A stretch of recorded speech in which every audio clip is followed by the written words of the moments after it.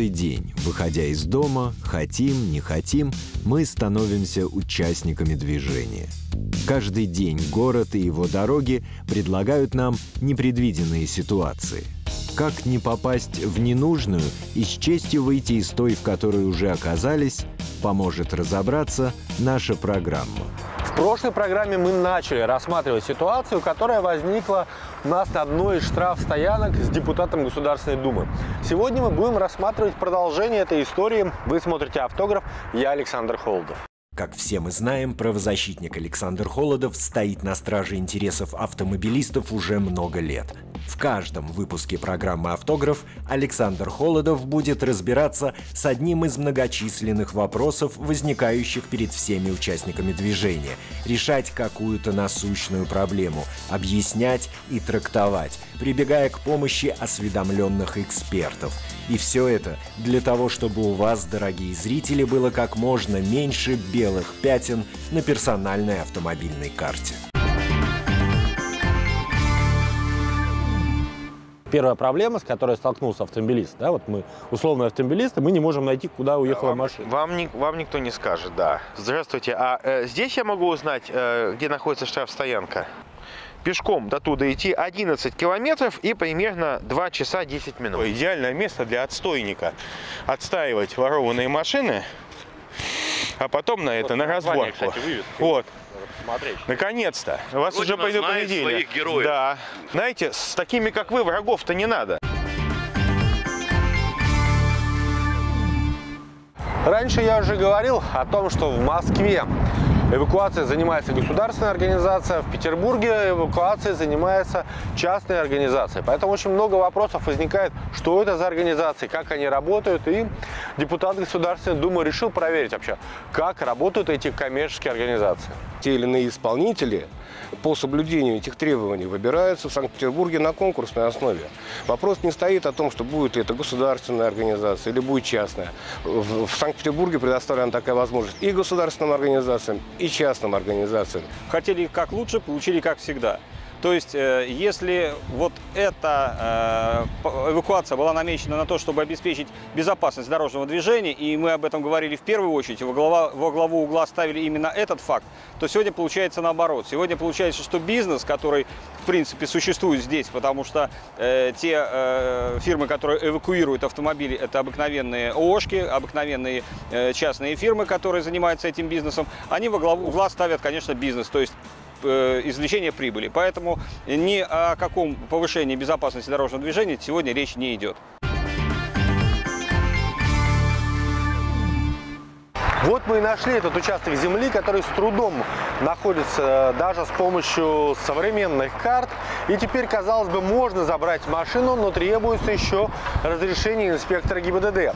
На многих стоянках инспектор присутствует. Если вам повезло, и он в это время находится на стоянке, никуда ехать не нужно, и разрешение можно получить прямо здесь и сейчас. Здравствуйте.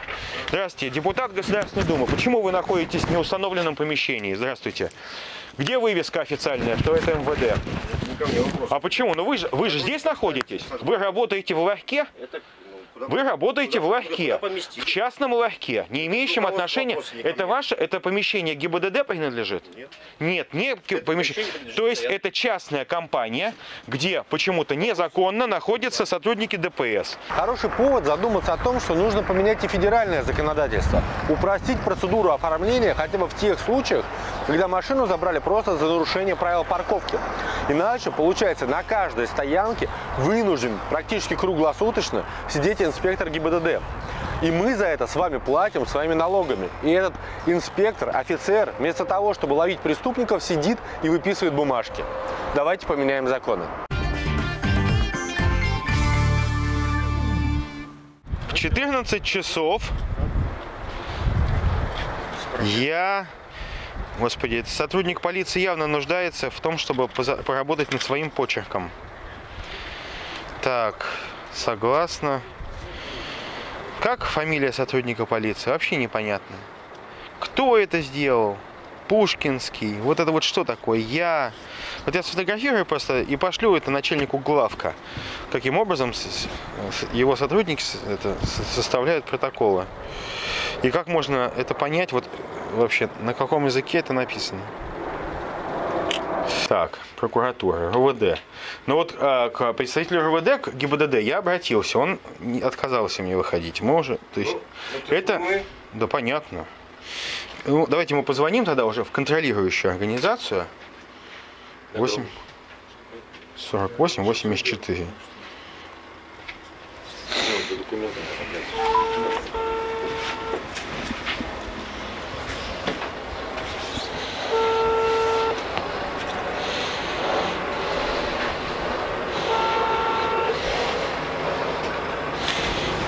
Комитет по вопросам законности.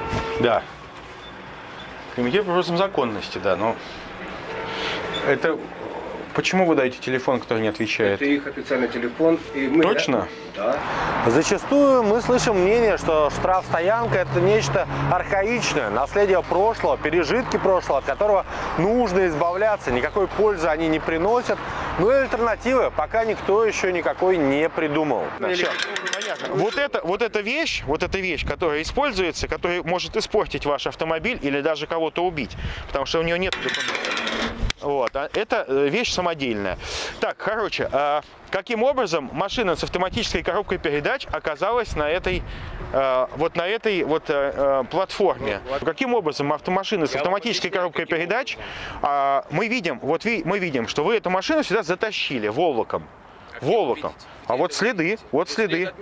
Сли- Хорошо. Следы от всех машин могут Пон- быть. понятно. Это может от предыдущей машины. Хорошо. а где? Подставляются подкатные тележки. Под четыре колеса? В данном случае под два колеса, задний привод. Почему? Это не задний привод. Пускай будет не задний привод, для меня в данном случае задний привод. Напомню, что тот закон, по которому действуют у нас все штрафстоянки на территории Петербурга, принят непосредственно при участии депутата Милонова. Он в этот момент, когда принимали закон, работал в законодательном собрании Петербурга и, более того, возглавлял комиссию по законодательству. Посмотрите на лица тех людей, которые со звериным оскалом тягают вашу бедную машинку, ломая там коробку, колеса и так далее. Посмотрите на них. Но неужели наши люди заслужили вот их, этих граждан, которые, так сказать, они не заслужили платную эвакуацию, они не виноваты. Это нарушает федеральный закон. Это эм, э, признано во многих субъектах федерации, что такая платная эвакуация, как в Петербурге, не должна существовать в нашем государстве. Я думаю, что здесь надо совершить очень важный шаг. Тот шаг, который совершают все люди, которые являются живыми людьми, сказать, простите, мы сделали ошибку, мы думали, что будет по-другому. К сожалению, получилось так, плохо получилось. В том случае, если будет названа одна государственная э, организация, любая, будь то госучреждение или будь то ГУП э, какой-то, да, то есть поменять ее в случае нарушений будет невозможно. Потому что оно прямо названо государством. В случае же с организацией выбора вот этих организаций на конкурсной основе, всегда есть возможность за любые нарушения убрать с этой деятельности любую из организаций и взамен нее э, отобрать новую. В случае же, когда это будет прямо прописано, что это государственное учреждение или предприятие, такого выбора сделать будет невозможно. На мой взгляд, может быть, э, изменить э, именно самих операторов. То есть с тем, чтобы за этот бизнес отвечал именно государственное предприятие. Либо муниципальные унитарные предприятия, либо государственные унитарные предприятия, которые бы занимались именно вот этой работой. В Москве такая э, работа налажена, и, в принципе, результат от этой работы есть. Дело в том, что те деньги, которые собираются за нарушение правил дорожного движения, они, они идут именно в бюджет и поступают на те нужды, которые необходимы нам, автомобилистам. А те деньги, которые со- собираются сегодня э, частными фирмами, они идут э, непонятно куда. Когда мы позволяем, черти знает какой конторе, черти знает как, тягать вашу машину непонятно куда, вот в эту помойку, например, находящуюся за 28 километров от больницы, откуда они это выдернули машину, э, то невозможно контролировать. То есть надо понять, что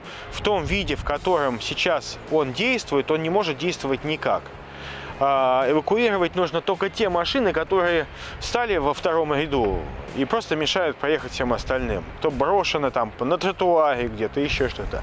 Если машина, водитель совершил административный проступок, он должен быть наказан, должен заплатить штраф. Если машина мешает проезду или э, проходу пешеходов, да, то этот автомобиль, естественно, необходимо эвакуировать, поскольку э, он мешает все-таки э, безопасности дорожного движения. Но порой бывают такие случаи, когда автомобиль припаркован неправильно, в нарушении правил дорожного движения, но он не мешает проезду, проходу, то, естественно, здесь, я думаю, что достаточно было наложить штраф и не эвакуировать машину на штрафстоянку. Тем более, что такие места уже давно известны, известны тем, кто этим бизнесом занимается. Они просто выслеживают, прослеживают, очень легко до этого места доехать и забрать автомобиль. Поэтому здесь э, налицо именно только бизнес.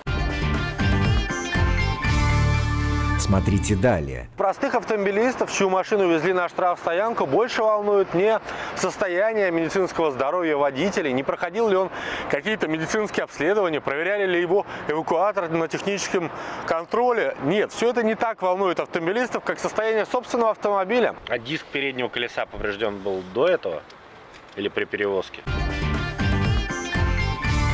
Ранее в программе.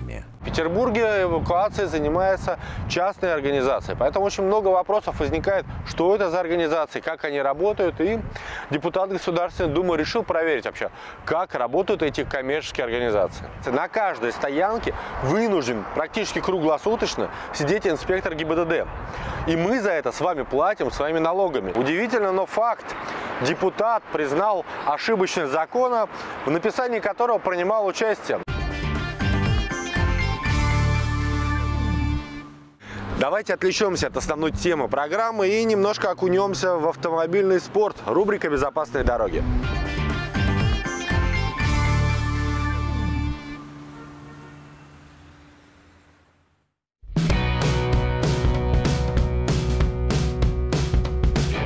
Несмотря на то, что погода сегодня достаточно холодная, тем не менее зрителей много. Все наблюдают за соревнованием и болеют.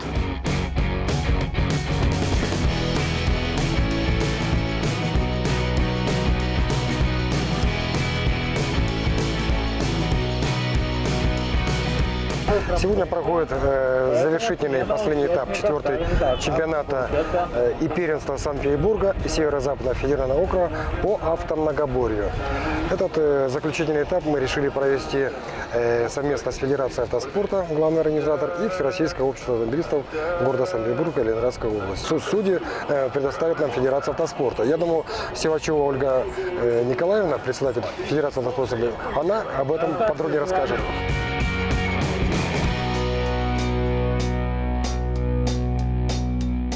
Судейство, да, это, конечно, Федерация автомобильного спорта Санкт-Петербурга. У нас аккредитованные судьи, которые аккредитуются через Комитет по физической культуре и спорту. Они все имеют опыт, они все лицензированные, поэтому за результатом мы здесь не переживаем, они будут реальными. Радует, что у нас много детей занимается этим, потому что это точно совершенно те водители, которые припаркуются на любой парковке около супермаркета и выйдут, никого не задев. Мне 17 лет, за рулем я уже 5 лет. Папа является моим тренером, и раньше он был чемпионом России по ледовым и трековым гонкам, поэтому я пошла по стопам своего папы. Самое главное вообще во всех соревнованиях – это плавность ваших движений. Если вы будете ехать равномерно, э, не делать так, чтобы ваша машина скакала или прыгала, то у вас будет лучшее время, даже если вы поедете медленно и спокойно. Но при этом нужно искать места, где можно разгонять машину.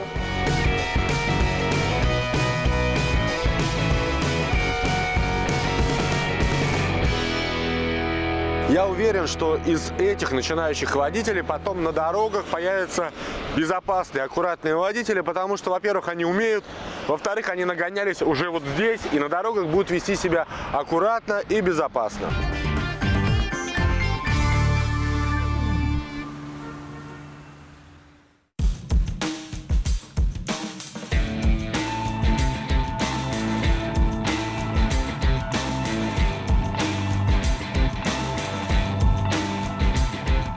Две стоянки посетил. И, конечно, это просто издевательство над собственными, над, э, над людьми. потому что это унижение, это э, необоснованное обогащение, потому что это дикие деньги берут они. Я считаю, что эвакуацией должны заниматься госорганы. Пускай это будет государственная организация, ГУП какой-нибудь, государственная структура, которая будет заниматься эвакуацией только тех машин, которые действительно мешают. А те, которые просто нарушают КОАП, да, надо приходить, надо брать специалистов, которые фотографируют, выписывают штрафы. Вообще существует два принципиально разных подхода. Петербург и Москва. В Петербурге эвакуацию фактически производят коммерческие организации за счет автомобилистов. В Москве этим занимается государственная организация и частично оплачивается за счет бюджета. Почему, как в Москве не сделать? В большинстве случаев ездят машины, которые просто фиксируют. Вот. А увозят в экстренных ситуациях, но опять же увозят кто? Опрятные, чистоплотные водители. Не те, которых отказываются с нами разговаривать, а нормальные, цивилизованные люди с цивилизованными погрузчиками, которые не повреждают вашу машину. Там пломбируется даже лючок от бензобака, чтобы человек мог быть удостов... ну, удостовериться, что его машину не вскрыли. Все делается как, как для людей. Почему в Петербурге мы считаем, что люди второго сорта? Не второго сорта, они заслуживают точно такого же вежливого отношения. Прежде чем говорить о каких-то недостатках, э, допустим, Санкт-Петербургской системы, которая работает и, считаю, имеет больше преимуществ, чем э, московская, он бы хотя бы съездил и убедился, а как это работает в Москве. Вот он говорит о том, что, значит, как бы там все чистые территории.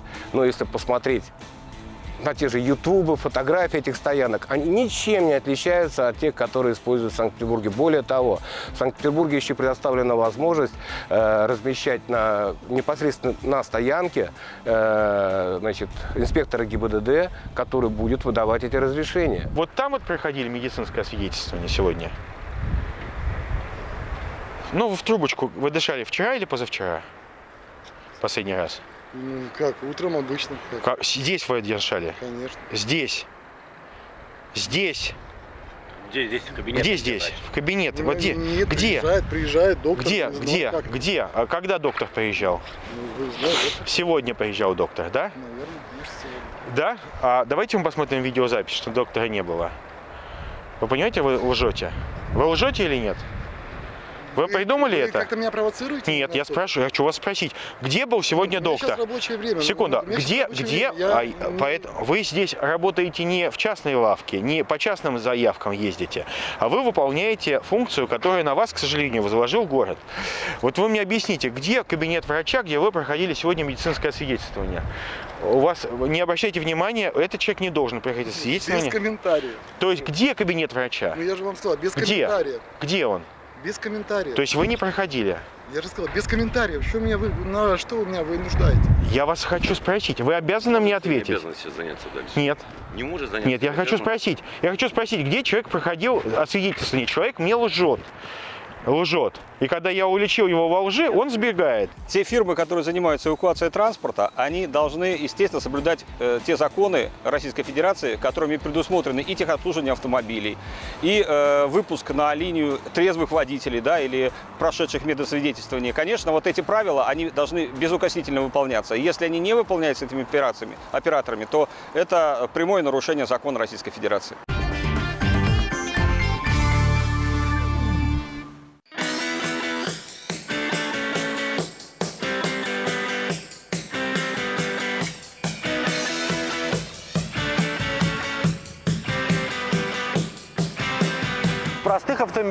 Чью машину везли на штрафстоянку, больше волнует не состояние медицинского здоровья водителя, не проходил ли он какие-то медицинские обследования, проверяли ли его эвакуатор на техническом контроле. Нет, все это не так волнует автомобилистов, как состояние собственного автомобиля, который уехал на штрафстоянку. Как его грузили, не было ли каких-то происшествий, при погрузке? И вообще, в хорошем ли он состоянии доехал до стоянки и можно ли на нем уехать дальше? А диск переднего колеса поврежден был до этого или при перевозке? Это который? С той стороны. Техническое. Ну вот, повреждение явно. Его затаскивали колесо, или потертости диск. Нет, но поскольку Здесь он, гражданин э, не умеет вообще обращаться с этим, и, э, возможно, даже пьяный, поэтому я не понимаю. Машины затаскиваются без э, подкатных роликов. То есть э, затаскиваются они, даже несмотря на то, что колеса могут заблокированы. Э, при э, погрузке колеса, конечно, могут повредиться, и мы видим следы повреждений. Ну, может быть, это было повреждение у них до, надо фотографии попросить. А, ну, надо я... смотреть фотографии. Так, а у вас же есть у вас, так... Ну, не смотреть же сейчас на телефоне. Нет, а почему нет? Почему? Он или снял посмотрим. колесо, или я не снял сказать, колесо? Нет, я могу сказать, что я посмотрю отдельно. Нет, ну, секунду. Все повреждения Подождите, вот, вот эта машина явно не могла сама заехать, будучи вот с таким выворотом колес, она сама не могла заехать. Государственное учреждение не имеет того маневра э, по разрешению претензий граждан. Так или иначе, в каких-то случаях может быть причинен, не должен быть, но может такое произойти, может быть причинен э, какой-то ущерб транспортному средству.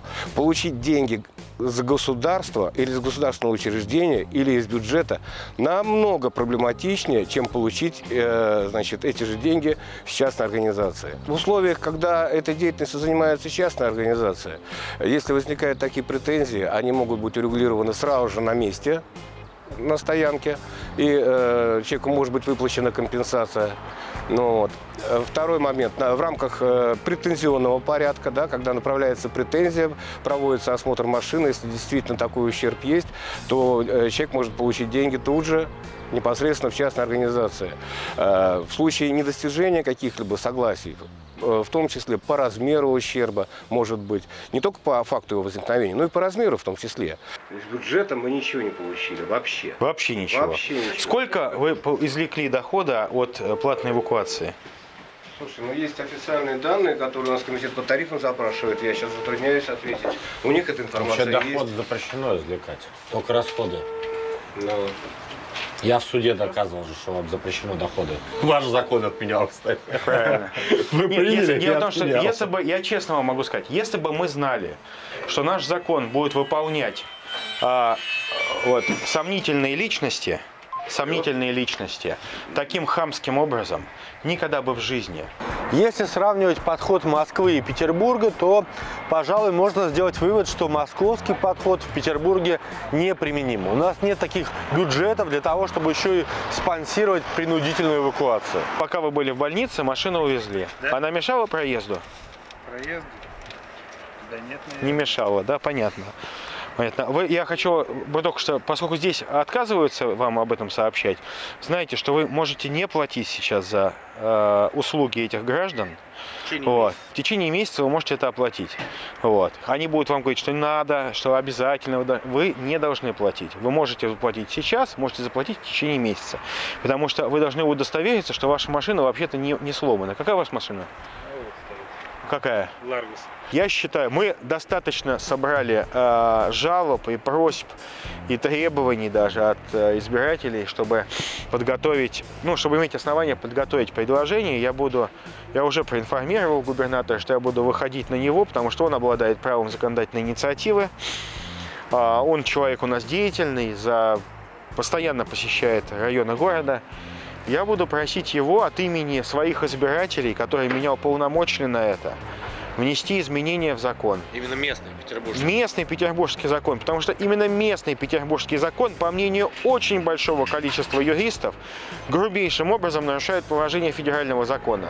То есть он должен быть как минимум скорректирован, а если его не хотят корректировать, он должен быть отменен.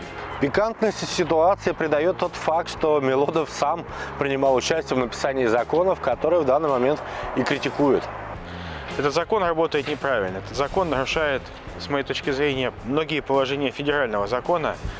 И многочисленные судебные э, разбирательства являются тому доказательством, что э, те лица, которые готовили этот закон, к сожалению, ввели, получается, так нас заблуждение. И я думаю, это правильно знать, что, ну да, принят закон, работает неправильно, значит, надо его корректировать. То есть это абсолютно живой процесс, ошибаются все, но способность человека признавать ошибки – это способность нормального человека. И данный закон является ошибкой. Программа подходит к концу и самое время сделать выводы, которые у нас возникли за время съемки этой передачи. Самый первый вывод это то, что штраф стоянки все-таки это наследие 90-х. Морально они себя уже давно изжили, но и отказаться мы не можем. По той причине, что не только нарушители правил парковки попадают на штраф стоянки. Не забываем про пьяных водителей, про других нарушителей, которые очень сильно мешают автомобилистам и которых нужно просто хотя бы временно изолировать от общества путем изъятия автомобиля. И второе, удивительно, но факт. Депутат признал ошибочность закона, в написании которого принимал участие. Исторический момент. Вы смотрели «Автограф», я Александр Холодов.